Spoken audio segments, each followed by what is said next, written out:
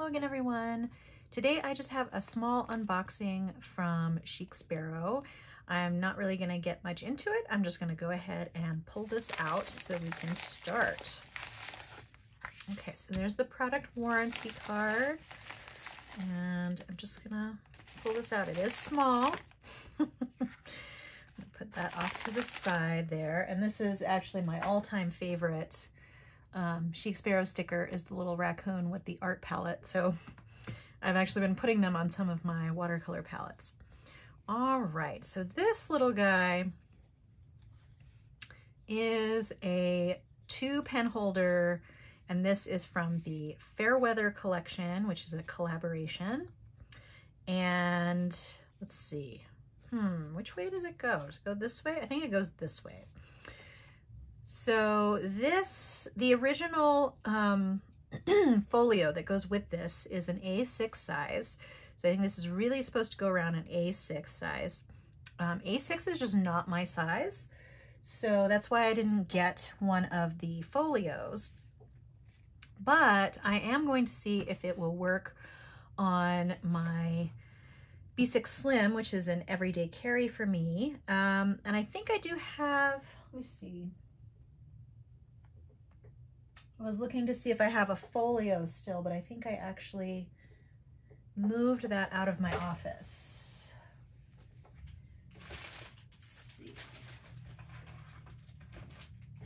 Yes, I no longer have my B6 Slim folio in here, but we're gonna see if it works on a TN. So this is obviously a traveler's notebook, so it already has a pen loop on the side, but I always like, oh yeah, that's gonna work perfect. So I could take the elastic out and just have it be this. And I think that's how they showed it with the, um, with the A6 folio. But I tend to not like to remove my elastic, so I think I'm gonna leave it on here. And I'm pretty sure that this is the way it goes. So let's go ahead and try a pen in here. I'm gonna try, so this is my Moonman, I think it's the A1. And that's gonna go there. Hmm. What do you think, guys? Is this the wrong way around? I'm not sure. I'm actually gonna take a quick look on the website while I have you here. So, because I do want to make sure I have it on the right way. Okay, look up Chic Sparrow and Fairweather. I do think that it is, oh, of course this doesn't show it. Let's see. Because I think that they are actually, they've been sold out for a while, these pen loops. Yes, okay, so this is the way that they show them on the website of this being the, the bottom and this being the top. That's what I thought. So let's just try a variety of pens in here. So this, like I said, this is the um, A1 Moonman, which is the same size as a Pilot Vanishing Point. So that seems to work well in there. This is, so this doesn't have a clip. I would probably prefer a clip in here. So this is a Franklin Christoph model 45 large, I believe. So that actually works quite well.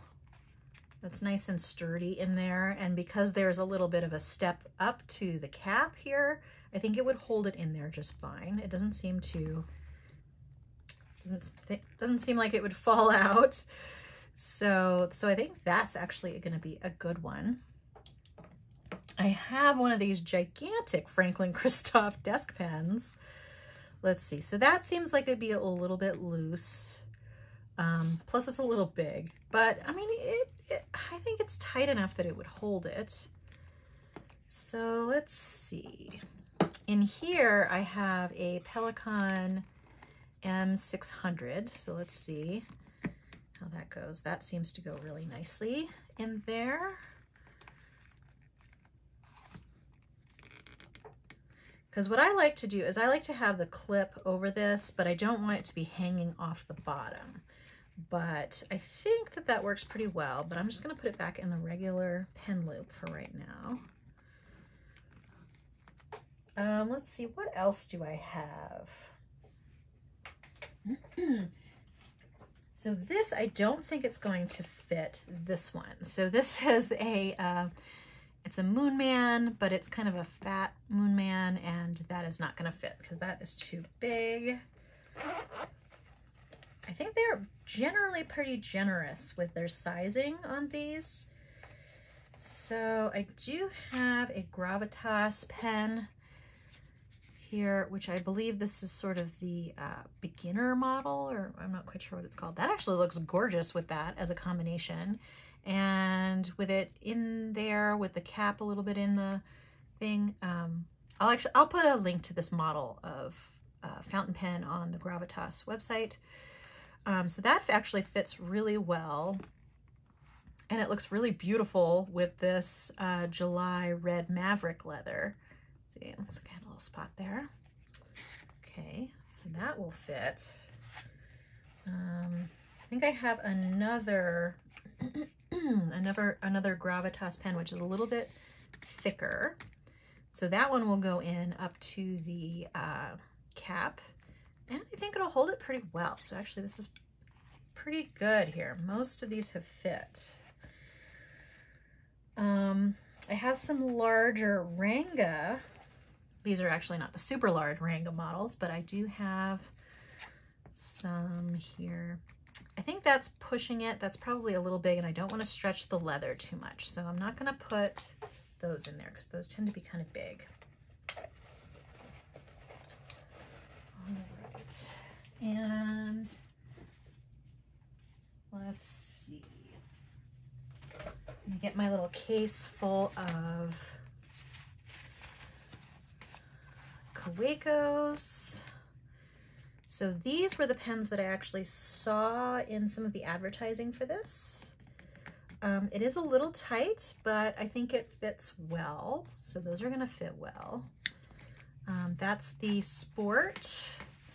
And, oh, it looks like I don't have any of the metal ones in here. I'll have to open another thing for that.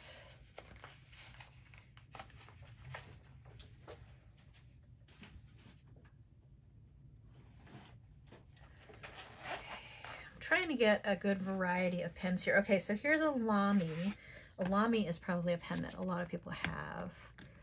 Um, that fits. It's a little tiny bit awkward um, in putting it in there just because of the uh, step up here because if you want the clip to kind of hold on, it's a little bit big, a little bit clunky there. And let's see.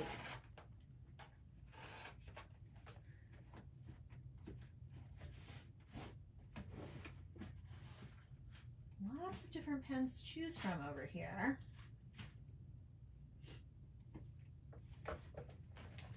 So here are some pocket pens here.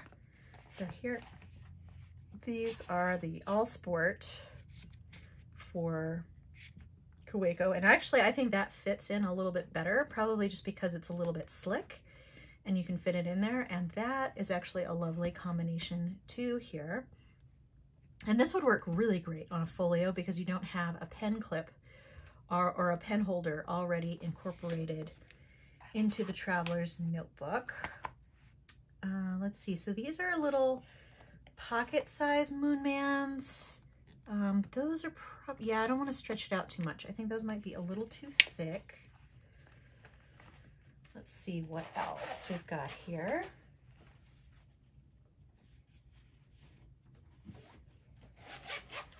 Okay, I have some diplomats. Okay, the diplomat will fit. Yes. It seems like everything but the super large pens will probably fit here. I'm just to try, I'm to get out some TWSBIs here.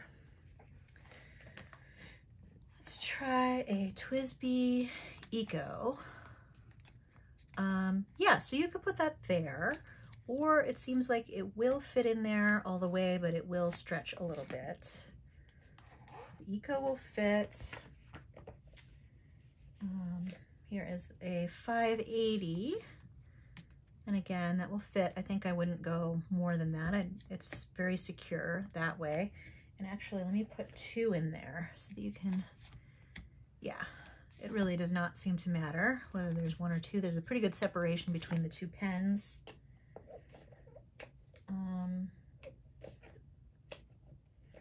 So here's the vac, the, the full-size vac. That fits as well. And then I have a mini vac,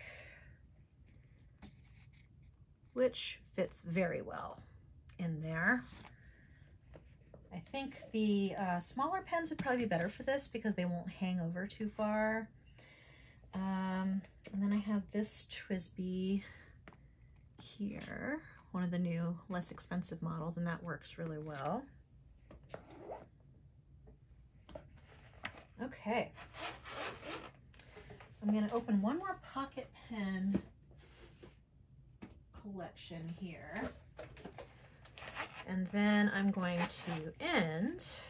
Okay, so this has, um, this has a Schon DSGN uh, pocket pen. That actually fits really, really well.